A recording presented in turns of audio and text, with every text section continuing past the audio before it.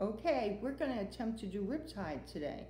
So Riptide is an easy song because it has only three chords. It has your A minor chord, it has your G chord, and it has your C chord. And what you're going to do is you're going to do one set of A minor, one set of G, two sets of C.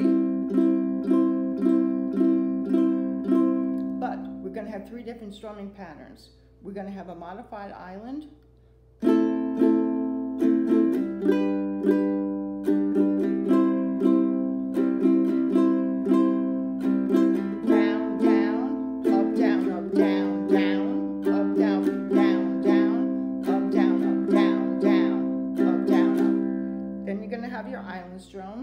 Down, down, up, up, down, up, down, down, up, up, down, up, down, down, up, up, down, up, down, down, up, up, down, up.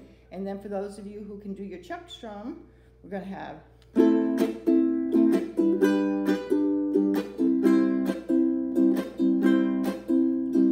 down chuck up up chuck up down chuck up up up down chuck up up up down chuck up up up. So that's it. So now you can just practice along, okay? We're going to start with the intro.